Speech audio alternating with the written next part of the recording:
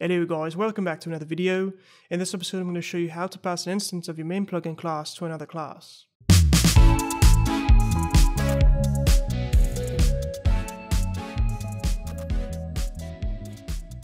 Alright, so I get a lot of comments and people joining our Discord asking how to pass an instance of your main plugin class here that has your onEnable and onDisable methods uh, to another class because commonly you'll need an instance of your main plugin class to do things like access the configuration file, um, create new tasks, um, do stuff like that. It's very, very common. You know, even if you know how to do object-oriented programming, it can be tricky to actually understand um, how to use it sometimes if you don't have real-world practice. So what I'm going to do this episode is show you two ways that you can pass an instance of your main plugin class to another class, so you'll be able to do that, okay? So let's go ahead and check out what I got here so far. So I got a new Spigot project 1.17. The version doesn't really matter though, of course. Um, this will work on any version of Minecraft development. And so I've got a little death listener class here. There's nothing inside of it except that it implements listener. So I'm just going to make a new event handler, event handler public void on player death. So this is when the player dies, obviously. So player death event E. All right. So let's say inside of this class, for some reason, or inside of this method here, for some reason, I want to do something with the plugin instance. Now, there's two ways to do this. They're both pretty easy. Um, the most common way that you'll see me doing in all of my videos is by making a static accessor method. So what I'm going to do is go to instance access, my main plugin class here, and do private static plugin. All right, or not plugin, but uh, instance access, which is the, the type of the class of our main plugin class, and then plugin is the name of the variable or the field. And then inside of our onEnable method, we're going to set the we're going to set that variable. So we're going to do plugin is equal to this, okay? And then after that, we're going to go down here and make a static getter method that enables you to access this, uh, this variable here, or this field here. So we can do that by going to code, generate, getter, and then OK. So it's going to recognize that it's a static field. So it's going to do public static instance access. So it's returning a object or it's something of the type of instance access, and then get plugin is the name of the method. So very standard, very simple. And so it's going to return plugin, which is this private static instance access plugin uh, variable here. So again, when the plugin starts up, it's going to, you know, obviously run this on enable method, and then it's going to go here to this line and say plugin, which is a variable within a static variable within this class here, is equal to this. So now that we have that, we can go into this death listener here, and if we ever want to access, or even any class, right, if we ever want to access instance access, an instance of this class here, all we have to do is do instance access, which is the name of the class, dot get plugin. And now we have an instance of the plugin. So therefore we can do, uh, we can access our configuration file if we had one. So get config, there we go, dot get boolean and provide the path, there we go. So very useful there. Or what you can do is make a new task, for example, for example, so new Bukkit task or Bukkit runnable, and then run. That's going to be the code of the task. So I want waffle fries. I want waffle fries. And then we're going to run it. This is the part where you need an instance of the plugin. So we can do run task later. And so it asks for a instance of plugin plugin. So just the plugin class.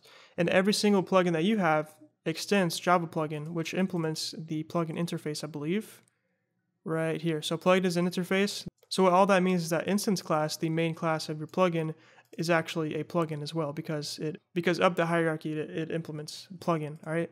So therefore we can do instance access dot get plugin. So now we're passing in an instance of the plugin into that uh, method there. And then the delay, you know, it's just the amount of ticks that you want to delay it for. If you're not familiar with Bukkit task, then don't worry, it's just an example. But there you go, that's how you might use that if you ever need a instance of the plugin, okay? All right, so that's the first way to do it. That's how you can access an instance of your plugin there um, by using a static getter method. So again, you're just creating a static variable, setting it when the plugin starts up, and then accessing it using public static instance access get plugin. Pretty simple. But let's say you don't want to do this, right? Let's say you want to do a different way. This way is called constructor injection, or just passing in a variable to a constructor, whatever you want to call it. So this time we're going to go up here and create a field for our um, plugin instance. This time it's not inside of the main plugin class, but inside of the where we need it, the death listener. So we're going to do private, final, and then the name of our class that we're trying to, you know, put here. Then instance access. And we can call this plugin, you can call it instance access, whatever you want to call it. It doesn't matter, of course. It's just a normal variable. Um, and then now we get a little problem here. It says um, variable instance access might not have been initialized. And this is because it's final, so it has to have an initial value. So you can either set initial value here by doing blah, blah, blah, like new instance access, but we can't do that obviously. Or you can create a constructor. So we can do public, public death listener, instance access, instance access is equal to this dot instance access is equal to instance access. So what you have done here is created a Java constructor for this death listener class, and when it is constructed, you're passing in an instance of your instance, instance access plugin class to that constructor, and then you're setting the variable up here. All right.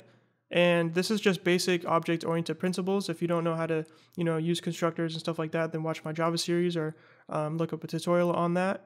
Um, so now that we have this instance access variable set, we can use it just like we were using it a second ago. So instance access.getConfig if that's what you want to do, or you can again create a Bukkit task if that's what you want to do as well. But now you can't forget, whenever you register this death listener, you have to pass in an instance of instance access or whatever the name of your main plugin class is. So we can go back here in our on enable. So we're going to do get server dot get plugin manager dot register events plural, and then we're going to do new def listener. And now it wants an act. Usually it's empty, right? It doesn't ask for anything unless you know for some reason you add something there. Um, but now it's asking for an instance access uh, to be passed in. So we're going to do this. Because this class here is our main plugin class, right? So if we just pass in this, that is talking about this. So it's the, it's the class that you're in right now. So that will satisfy what it needs. And then now we need an instance of plugin again, so we'll just do this again. So you're doing it twice, but in this case, for the first one, you're just passing an instance of the plugin class to death listener. So now death listener, it's going to be created using the constructor. This is going to be set, so now you can use it wherever you want inside of this class here. So some would say that the first way we did it using static is uh, more improper, just because people like to disencourage using static, you know, keywords and stuff like that. Um, but it really doesn't really matter. You know, both ways are pretty easy. They both get the job done. You're going to see a lot that I'm using the static way of doing things in my plugins, but uh, you can do whatever way you prefer. I would say the only benefit of using the first way is just that you don't have to create constructors for your classes all the time, like for here. Usually, when I make listeners in my plugins, you don't ever see me make constructors because I don't do it that way. I usually, you know, just use the static way of doing things that we saw first. So, just as a recap, what the two things we did one is static getter method to access plugin instance, and then number two is constructor injection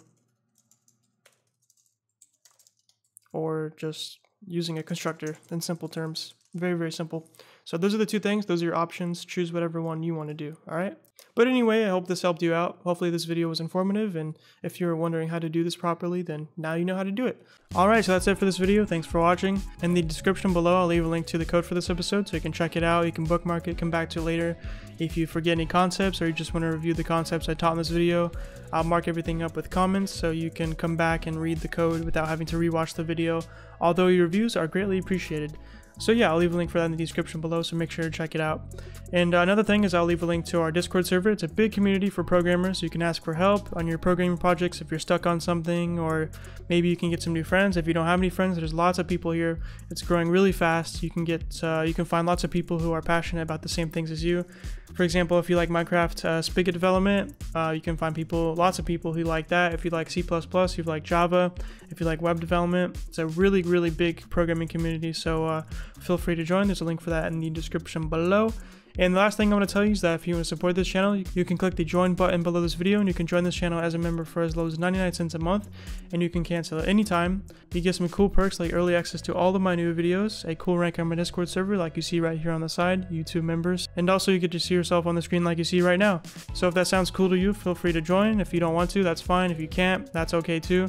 Um, I really just uh, appreciate you watching the video anyway. And uh, thank you. Thanks a lot. And that's it. So if you like this video, leave a like. If you want to see more, subscribe. And peace.